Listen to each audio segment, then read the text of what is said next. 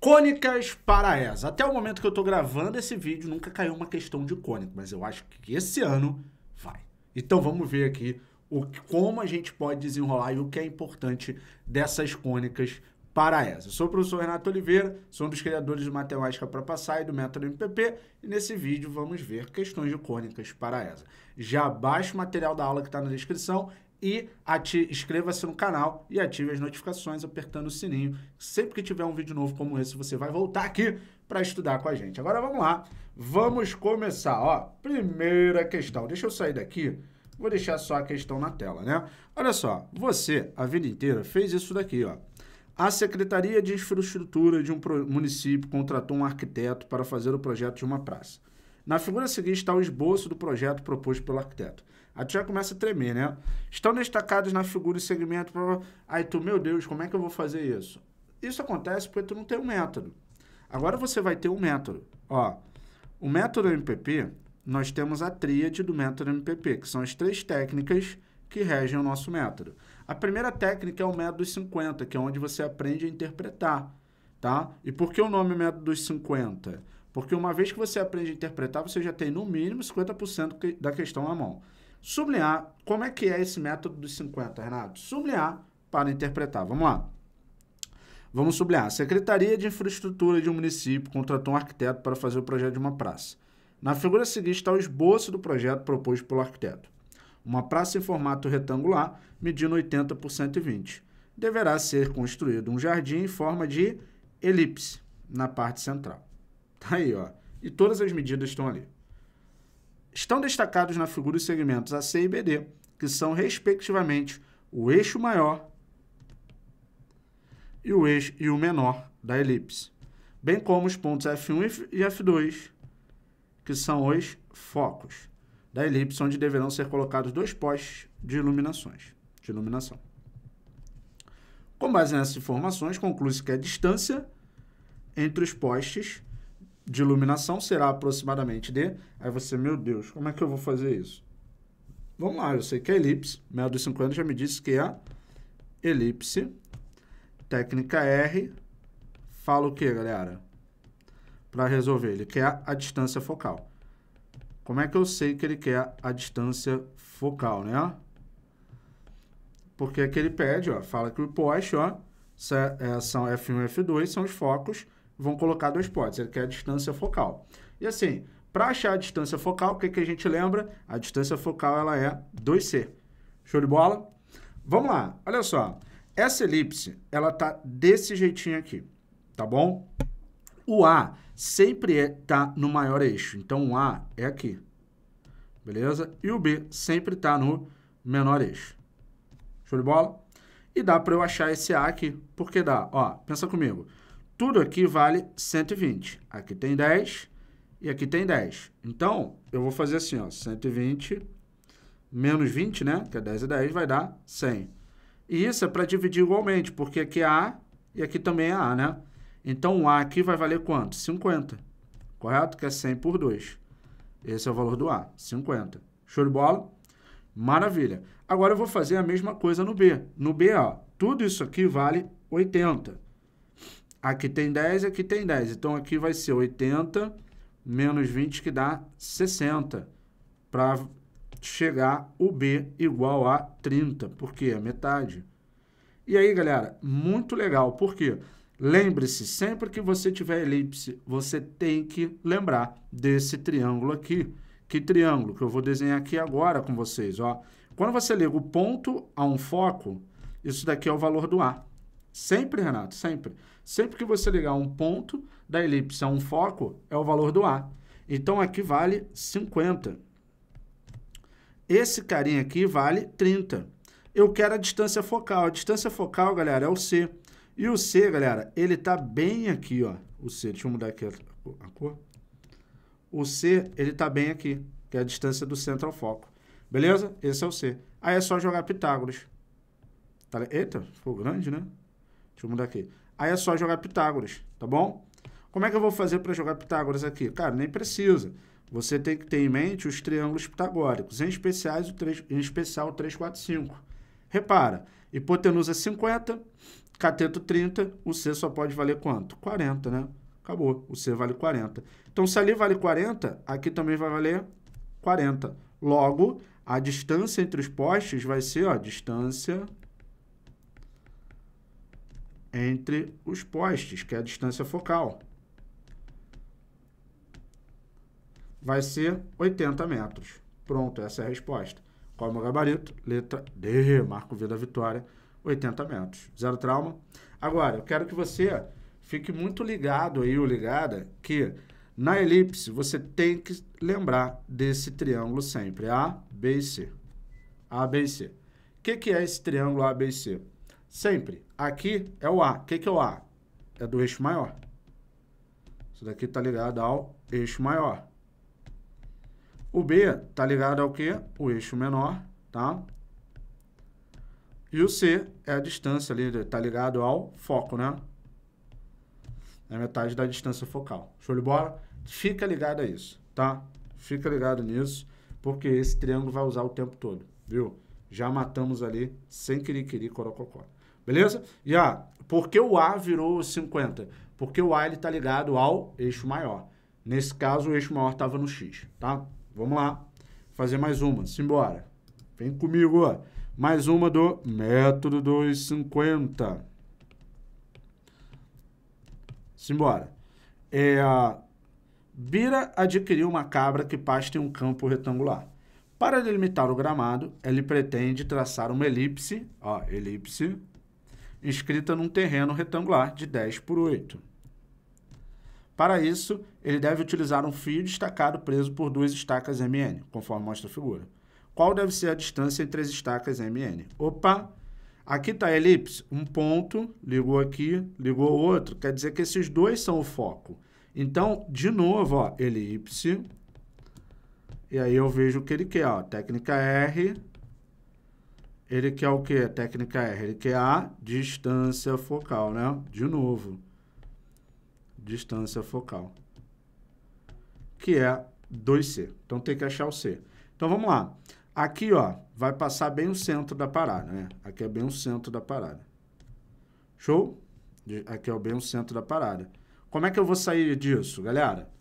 Acha o A, acha o B e vai usar a relação pitagórica. Essa relação pitagórica que eu mostrei, você tem que saber que é ao quadrado igual a B ao quadrado mais C ao quadrado. Na maioria das questões, você consegue montar o Pitágoras ali e matar, que fica muito mais simples para você. Mas anota essa relação aí, tá? Então, vamos lá. O que, que a gente vai fazer aqui, galera? Ó, aqui vale 8. Opa, calma aí. Aqui vale 8 metros, né? E aqui vale 10 metros. 10 metros. Consequentemente, aqui, ó, o A aqui vale 5, né? Esse é o A. Aqui é o A, porque tá ligado ao maior, né? E aqui o B vale 4, porque é metade. Show? Como é que eu vou fazer para chegar? Eu tenho que chegar onde? Eu tenho que chegar aqui no C. Aí não tem mistério. Qual é o triângulo que eu tenho que ter na minha mente? Lembra? Precisa nem da figura. Aqui é A, aqui é B, aqui é C. Então, vamos lá. O triângulo, o A vale quanto? 5. O B vale 4. Eu quero C. Quem é o C? 3. Maravilha, ó. Mais uma vez o Pitagórico. Por isso que eu acho importante tu montar. Deu ruim? Aí tu vai e joga o Pitágoras. Mas assim, cara, deu bom, tu vai ganhar muito tempo, não vai fazer conta, né? 3, 4, 5. Logo, a distância focal que ele quer é duas vezes o C, né? Duas vezes o C. 2 vezes 3 dá 6 metros, né? 6, 6 no caso, né? Show de bola? Qual é o meu gabarito? Letra D. Zero trauma. Show de bola? Matei. Deixa isso anotado porque tu vai usar muito. Vamos lá fazer essa daqui, ó. Método 250. Simbora. Simbora, simbora, simbora. Ó, a equação representa uma... Opa! Como é que eu vou fazer? Ele quer saber a equação. Qual equação, né? Técnica R me diz o quê? Lembre, lembre das formas, das equações, das formas das equações, né? Show? Lembre das formas das equações. Cara, a elipse, de cara, já dá para você ver que ali é uma elipse. De qualquer forma, vai ser uma elipse. Por que vai ser uma elipse, cara? O que acontece? A elipse, ela tem essa forma, x ao quadrado sobre a ao quadrado, mais y ao quadrado sobre b ao quadrado, igual a 1. O a é sempre representado pelo eixo maior, tá? Eixo maior. E o b representa o eixo menor. Esse caso, eu estou considerando que o eixo maior está onde? No x. Como é que eu vou saber se o eixo maior está no x ou no y, Renato? É só você olhar para o cara que está na parte de baixo. O cara que está na parte de baixo, o que for maior, significa que é o do eixo maior. A minha equação é desse jeito, ó, x ao quadrado sobre 144 mais y ao quadrado sobre 225 igual a 1. Opa!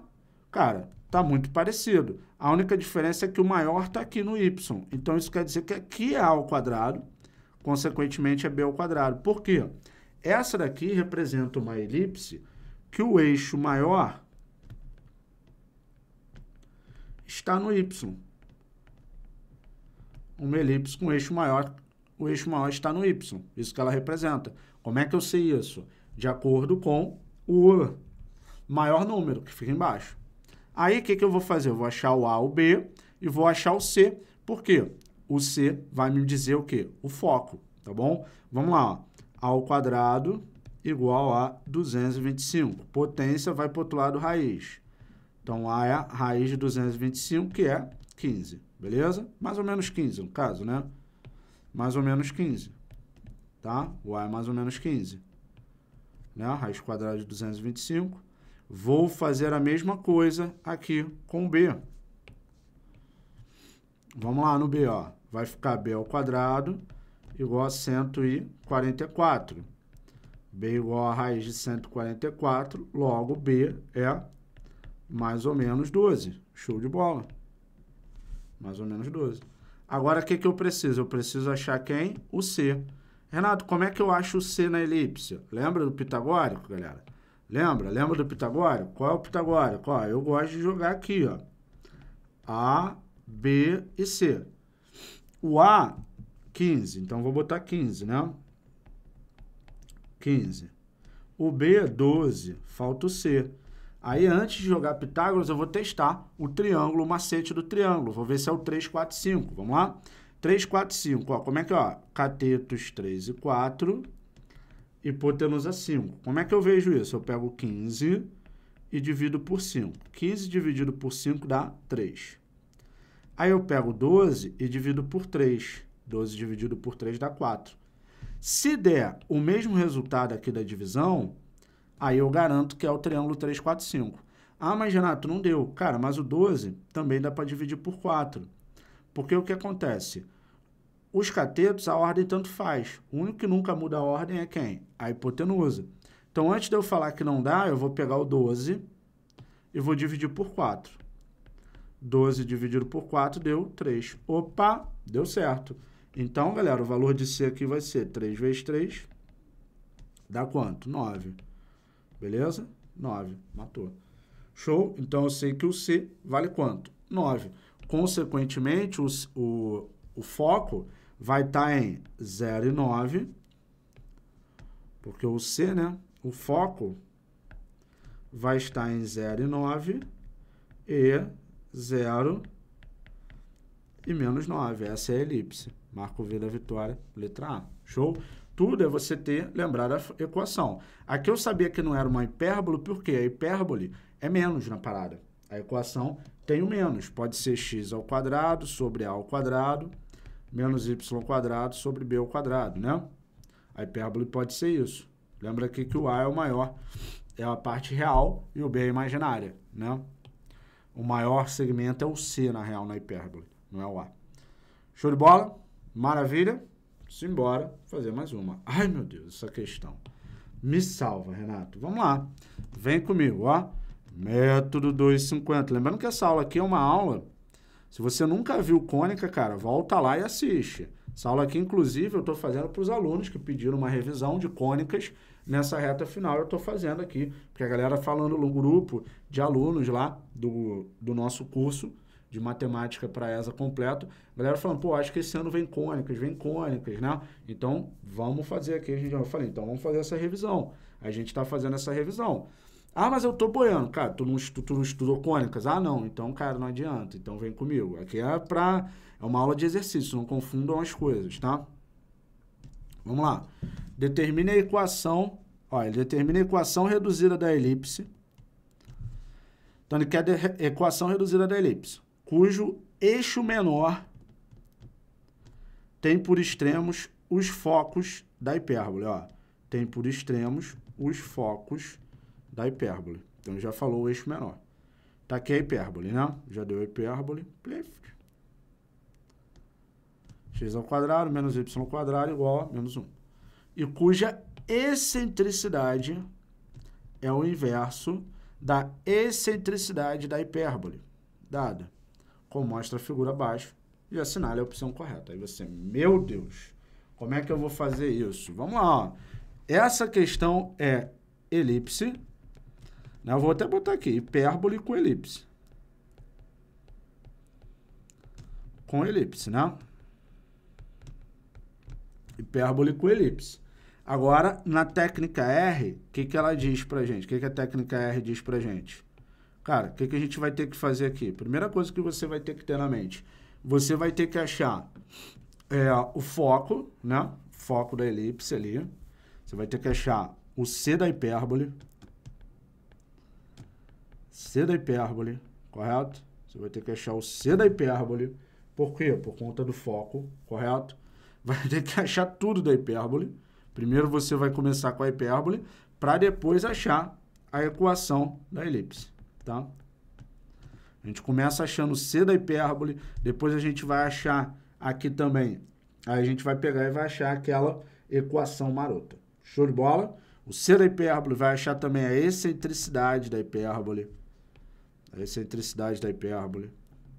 E aí depois acha a equação da elipse. Usando excentricidade, usando tudo. Então vamos lá. Vamos começar. Vamos começar a questão falando da hipérbole, beleza? Primeiro vamos ver a hipérbole. Tá? A hipérbole é isso aqui, tá? A, a elipse é de baixo. A hipérbole é isso aqui. Tá? E aí, ele foi muito maldoso, porque ele deu que a equação da hipérbole é essa aqui, menos 1. Mas a gente sabe que a equação da hipérbole ela pode ser desse tipo, x ao quadrado sobre a ao quadrado, menos y quadrado sobre b ao quadrado, igual a 1. Tem que ser igual a 1. Aí você, ai meu Deus, como é que eu vou fazer isso? Simples. Multiplica aqui geral por menos 1 tá? Porque tem que ter 1, multiplica por menos 1, ou divide por menos 1, tanto faz. Vai dar no mesmo. Aí vai ficar como, galera? Ó, vai ficar y ao quadrado, vou até fazer assim para você entender melhor. Menos x ao quadrado mais y ao quadrado igual a 1. Só para a gente ter tudo bonitinho, do jeito que é a hipérbole, y quadrado menos x ao quadrado igual a 1. Show de bola? Na hipérbole, você tem que ter em mente essa relação pitagórica que existe da hipérbole. A relação pitagórica que existe na hipérbole, ela é diferente da elipse. Na elipse, a gente viu aqui que a relação pitagórica é o quê? Ó? A gente viu aqui ó, a relação pitagórica da elipse. A ao quadrado igual a B ao quadrado mais C ao quadrado, porque o A é o maior. Já na hipérbole, maior é o C. Então, a relação pitagórica que eu tenho que saber na hipérbole é C ao quadrado igual a ao quadrado mais b ao quadrado. E por que eu tenho que jogar ela, cara? Porque eu preciso achar o C, cara. O C vai ser essa distância aqui, ó. O C é a distância do foco ao centro, a origem ali, ó. Tá? O C é essa distância aqui. Que, consequentemente, essa distância vem a ser quem? O B da hipérbole. Reparou? O C é o B da hipérbole. Por que o B da hipérbole? Porque pensa comigo aqui, agora vamos falar da hipérbole. Aqui é a hipérbole, ó, tracejada. Isso daqui está no eixo menor, é o B. Isso daqui é o A do eixo maior, beleza? E eu preciso disso para chegar na, na equação reduzida. Show de bola? Aqui é o C. Esse é o C da hipérbole, que é igual o B da elipse, beleza? Então, vamos lá. Agora, eu vou começar minha brincadeira aqui que, que ele fez aqui com a gente? Ó, ele fez que y ao quadrado, eu preciso achar o a e o b, né? O a e o b dá para achar, porque y ao quadrado menos x ao quadrado igual a 1 é a mesma coisa de você ter aqui 1 e 1, né? Ou seja, o que, que você vai ter aí, galera? Você vai ter que o A e o B são 1. Por que o A e o B são 1, galera? Por que, família? Por que o A e o B são 1? Porque ali é o quadrado, né? Então vai dar 1 para cada um. Então o A é 1 e o B é 1. Show de bola? O A é 1 e o B é 1. Maravilha? Agora dá para eu achar o C, ó. C ao quadrado é igual a 1 ao quadrado mais 1 ao quadrado. C ao quadrado igual a 2, C igual a raiz de 2, né? Mais ou menos raiz de 2 para ficar bonitinho, mais ou menos raiz de 2, né? Só vai trabalhar com positivo, mas, enfim. Mais ou menos raiz de 2. Esse é o C. Maravilha. A hipérbole acabou. Agora a gente vai pensar o quê? Vai pensar na... Acabou ainda não, tem que achar a excentricidade também. Aí é para a gente começar a achar a, a elipse. C igual a mais ou menos raiz de 2. Agora vamos lá. Como é que eu faço para achar a excentricidade? Excentricidade é C sobre A. Quem é C? Raiz de 2. Quem é A? 1. Então, a excentricidade é raiz de 2. Show de bola? Vou botar aqui excentricidade da hipérbole, EH. Então, EH é igual a raiz de 2. Por que eu estou falando isso? Porque eu estou achando excentricidade. Porque ele falou aqui para gente que a excentricidade da elipse é o inverso da hipérbole. Então, se a excentricidade da elipse é raiz de 2, eu já estou tranquilo na hora que eu precisar achar a da elipse. Maravilha? Cheguei, tá tudo lindo. O que, que eu vou fazer aqui, família? Eu já vou botar que aqui é raiz de 2. Show? Vou abrir aqui, fica tranquilo, tá? Depois você copia, se você é aluno vai ter acesso a esse resumo, então fica super tranquilo. Agora vamos pensar só na elipse, tá? Agora a gente vai pensar só na elipse. Questão chata, complicada, só na elipse. Vem comigo. Na elipse, agora eu só vou pensar na elipse. Eu tenho que o B vale raiz de 2. Eu tenho essa relação fundamental A ao quadrado igual a B ao quadrado mais C ao quadrado. É elipse, né? A relação fundamental é essa. Até na aula lá do curso eu falo isso para você. B igual a raiz de 2. Eu preciso achar isso daqui, ó. Nesse caso, o eixo maior da elipse está aqui, ó. O eixo maior da elipse ele está no x. Então, ela é dessa forma, x ao quadrado sobre a ao quadrado mais y ao quadrado sobre b ao quadrado igual a 1, né? Porque sempre fica na frente. Show? Beleza pura, eu tenho que achar isso. Então, eu preciso do A e do C. Do, A e do B, perdão. Eu sei que o B é raiz de 2. Você, meu Deus, Renato. Cara, dá para achar o que, que eu tenho mais? Eu tenho a excentricidade. Por que eu tenho a excentricidade dessa elipse? Olha para cá. Porque eu estou te falando que tu tem a excentricidade dessa elipse. Por quê, galera? Ele tá falando pra, ele falou pra gente que a excentricidade da elipse é o inverso da hipérbole. Qual é a excentricidade da hipérbole? Raiz de 2. Então, a excentricidade da elipse é 1 sobre raiz de 2. Tu vai racionalizar aqui, raiz de 2, raiz de 2. Tu vai ver que a excentricidade da elipse é raiz de 2 sobre 2, né? Por que raiz de 2 sobre 2, Renato? É, você multiplica ali, 1 vezes raiz de 2 dá raiz de 2, raiz de 2 vezes raiz de 2 é raiz de 4 que dá 2, beleza? Mas quem é a excentricidade? É o C, é o C sobre o A. Então, eu tenho que o C sobre A é raiz de 2 sobre 2. Aí, galera, não tem jeito. Não tem jeito assim, até esse momento. Tu vai ver que tem, eu vou te dar poderes. Cara, o que acontece aqui? C sobre A raiz de 2 sobre 2. O natural é você fazer o quê? Cara, eu preciso do A, né? Eu preciso do A. Então, eu vou botar aqui C é a raiz de 2 sobre 2A. Aí vai substituindo Pitágoras, vai dar conta pra caramba e vai resolver, sem problema. Mas aí, o que, que eu falei para você, meu anjo? Eu falei para você que você deve saber aquele triângulo. Eu falei isso para você ainda agora, não falei? Aquele triângulozinho que a gente usa muito aqui. Qual é o triângulo? Aqui é A, aqui é B e aqui é C, né? Cara, o B, pensa comigo, lembrando que isso é um triângulo retângulo. O B vale raiz de 2. Pô, cara, o que, que a razão diz? Diz que isso daqui é proporcional, pode ter um K aqui para chegar lá. Mas eu posso assumir que o C é raiz de 2 e o A é 2. Vamos ver se vai dar certo. C é raiz de 2 e o A é 2. Opa, Se eu assumir que o C é raiz de 2 e o A é 2, eu vou ter um triângulo, o quê, galera? Isósceles. E a diagonal do triângulo retângulo isósceles é o lado vezes raiz de 2, ou seja, vai ser raiz de 2 vezes raiz de 2, que vai dar 2. Opa, deu certinho. Se tu quiser, joga Pitágoras, dá certinho. Então, com certeza, o C vale quanto? Raiz de 2 e o A2. Pegou o bizu? Para tu não fazer conta de absurda. Aí, se não fosse assim, Renato, se não fosse, tu ia ver que ia dar errado, aí tu jogava naquilo lá. Eu acho que vale muito a pena você ter essa maldade para ganhar tempo no dia da prova. E tempo é o que tu tem, uma questão trabalhosa dessa, né?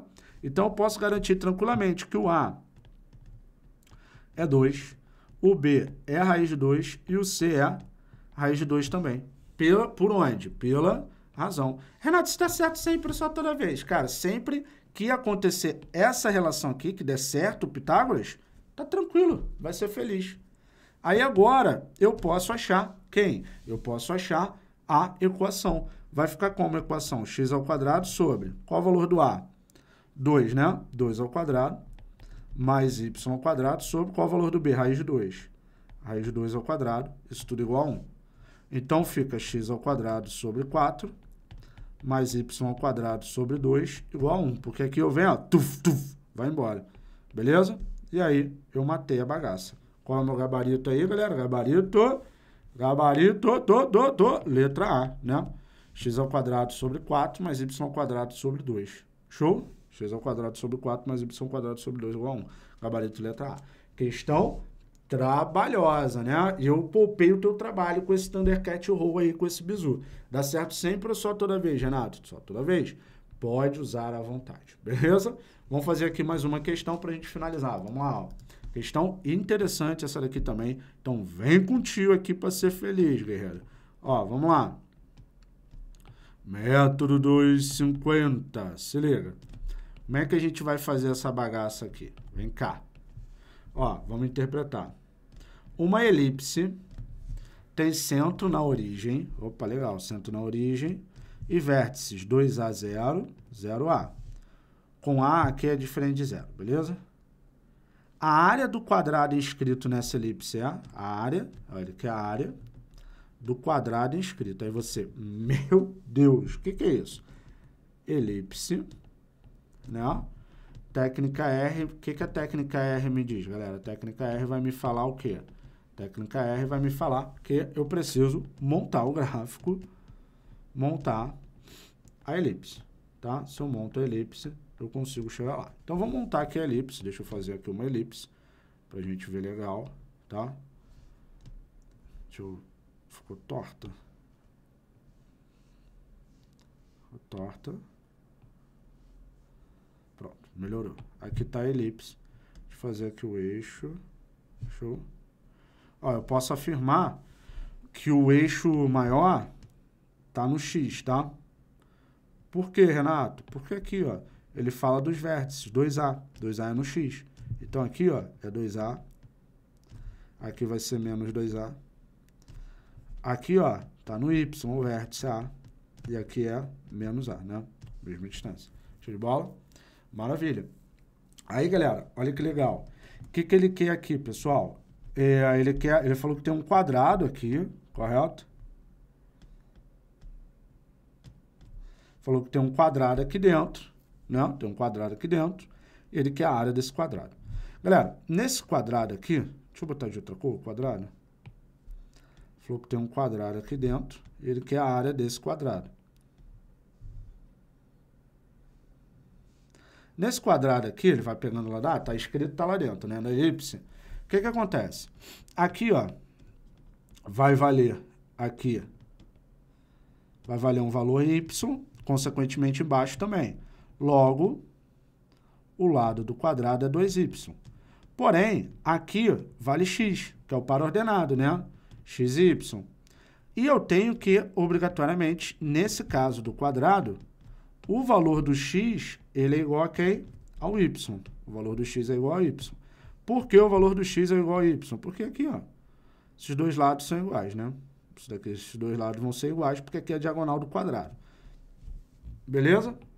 Agora, vamos lá. Como é que fica a área do quadrado? A área do quadrado é lado ao quadrado. Então, vai ficar 2y ao quadrado. Ou seja, eu tenho que encontrar 4y ao quadrado. Ah, então essa já é a resposta? Não, por quê? A resposta está relacionando A.